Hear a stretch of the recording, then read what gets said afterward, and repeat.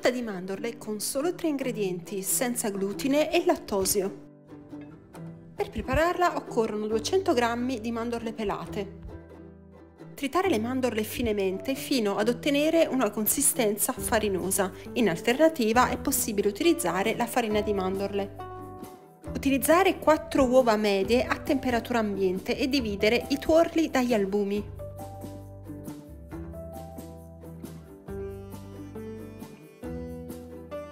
Unire un pizzico di sale agli albumi e montarli a neve ben ferma. Io utilizzo una planetaria, ma come vedete è possibile anche utilizzare uno sbattitore elettrico.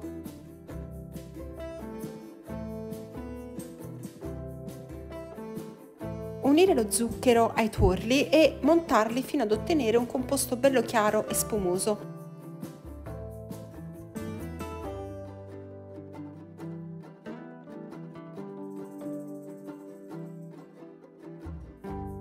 Per dare aroma alla torta io ho scelto di aggiungere della scorza grattugiata di un'arancia, va benissimo anche la scorza del limone. Unire gli albumi al composto incorporandoli lentamente mescolando dal basso verso l'alto.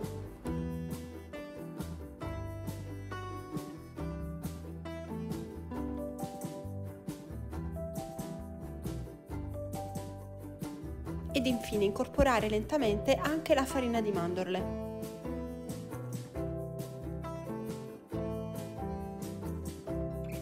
Non serve aggiungere lievito, né latte, né burro, né olio.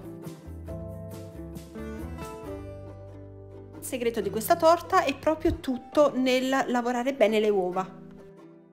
Versare il composto all'interno di uno stampo da 24 cm, imburrato e infarinato, meglio ancora se rivestito di carta forno. Per la cottura consiglio il forno statico preriscaldato a 180 gradi per almeno 30 minuti. Lasciare che la torta raffreddi per bene prima di estrarla dallo stampo e consiglio anche un riposo di circa due ore. Un dolce delicato e leggero, profumatissimo. Provate la ricetta e fatemi sapere.